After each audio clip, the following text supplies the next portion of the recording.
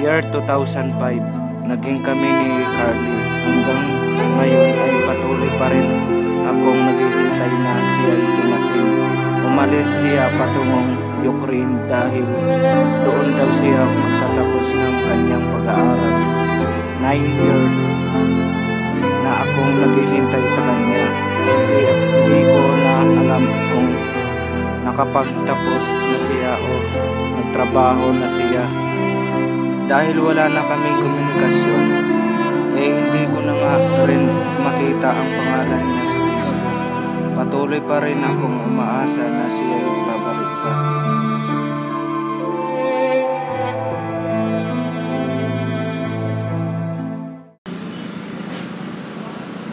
Hi babe, Hi din, babe. kaganina ka pa ba dito? Medyo.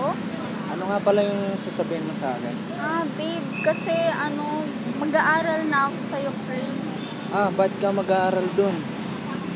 Paano na ako niyan? Yung, rela- yung relasyon natin. Babe, kasi ano, Ano? di ko, di ko din alam. Hanggang kailan ka doon mag stay Pag Magaling. Bakit may sakit ka ba, babe? hindi, ah, hindi, escape, babe. Ano, pag magaling na akong doktor. Babe, huwag ka nang malungkot.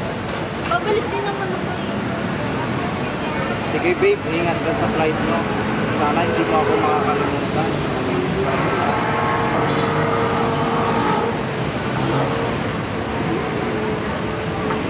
Sino nag-text sa'yo? Ah, si dad, babe, pinapakita kasi niya ako.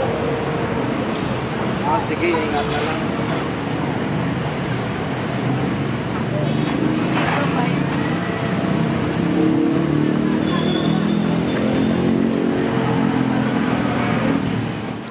Nagtaka ako sa sinabi niyang pagmagaling kasi nahalata ko siyang nagsisinungaling sa akin pero hinayaan ko na lang yung sinabi niyang iyon at pinanghahawakan ko na lang ang sinabi niyang magkikita pa naman kami ulit sa una.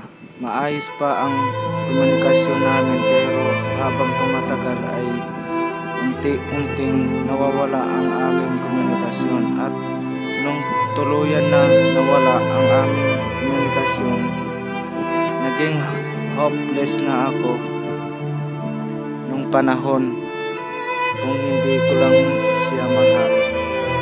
Pero mahal na mahal ko pa rin si Carly. 2014 na. Patuloy pa rin akong naghihintay sa kanya nang may biglang lumitaw na email sa account ko na galing pa sa, da- sa daddy niya niya mismo. Natuwa ako dahil sa loob ng siyam na taong paghihintay ay may nababalitaan na ako tungkol kay Carly. Ngunit napa, napalitan ng lungkot ang masaya kong emosyon nang mabasa ko ang nilalaman ng liham. Ito ang nakasulat. Hello, Bob. This is Marco, Carly's dad. I am sorry to say that Carly passed away. She passed away because of her breast cancer. Even me and my wife didn't know that. She was suffering for breast cancer. We only found out that by doing an autopsy report. We were also shocked by the autopsy report. If she told us already that she is suffering from that disease, maybe she is still living today. Nalungkot ako pero hindi umiyak.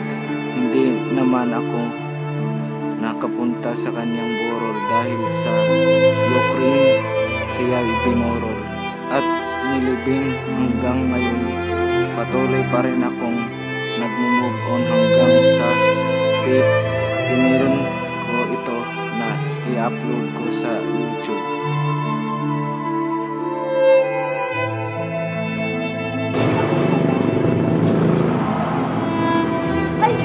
Game na. Handa na ulit. Hey, Bob. Bob. Yun. Yan. Yan. Kami na ng dalawa. Ano? Naka-record to? Hindi. Na. Tayong, Sige. tayong dalawa na lang. Naka-record na. Ay, kayo mga hawak. Hindi, kaibigan mo. Kaibigan ka. Naka-record na.